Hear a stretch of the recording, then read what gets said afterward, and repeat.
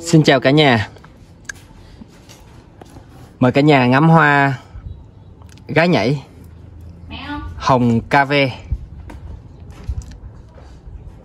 ờ, Đợt nở này thì à, hoa nở tại à, Di Linh Lâm Đồng nha cả nhà. Đợt nở này thì à, cái cây nó ra cái gam hồng và ở trên cái cánh nó cũng có một xíu phớt hồng. Nhưng mà rất là khó nhìn với cái cái cái cái cái, cái hồng đó. À, kích thước hoa thì à,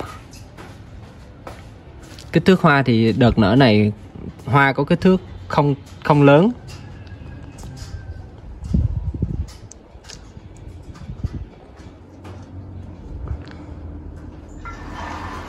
Cây uh, gái nhảy là một cây có tính trạng khá là khỏe cả nhà ơi. Cả nhà có thể thấy mầm gốc của nó.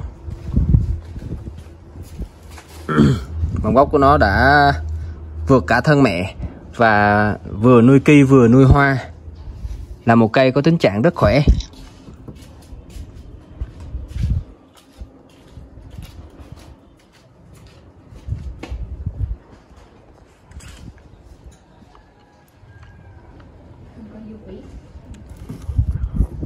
Hoa có gam màu sáng sủa. À, đôi cánh rất là dày dặn đôi cánh dày lắm cả nhà.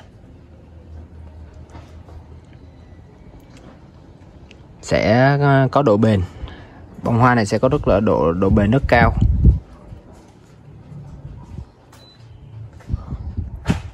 Thì đặc trưng của năm ờ, của cây ờ, hồng gái nhảy là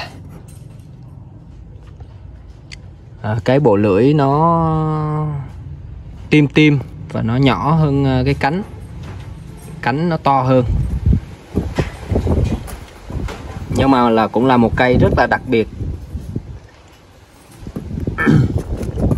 Một cây có những cái nét đặc biệt.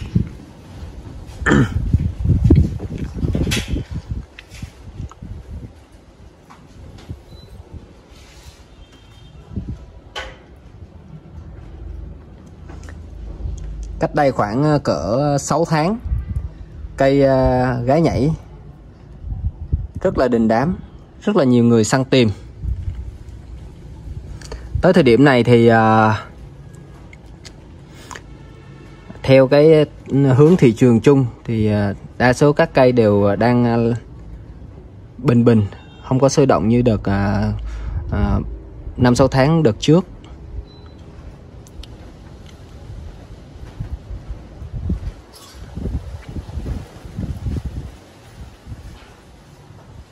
Để toàn à, zoom vô đôi mắt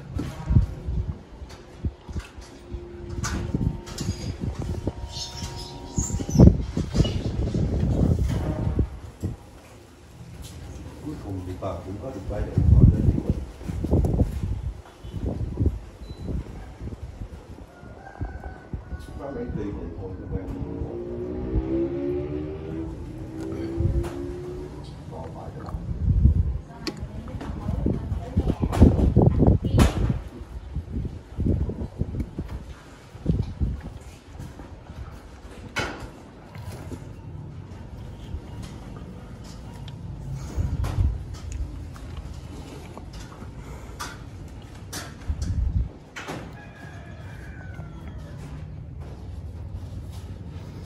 Mỗi cây hoa có một cái nét đẹp riêng cả nhà nhỉ?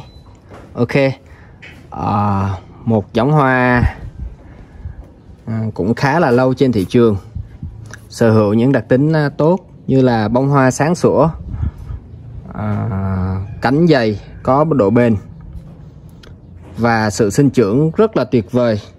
Một bông hoa đáng để chúng ta sưu tầm. À, toàn à, xin à, kết thúc clip ở đây toàn à, ghép nhạc vào với những ờ, ờ, góc hoa. Toàn xin chào.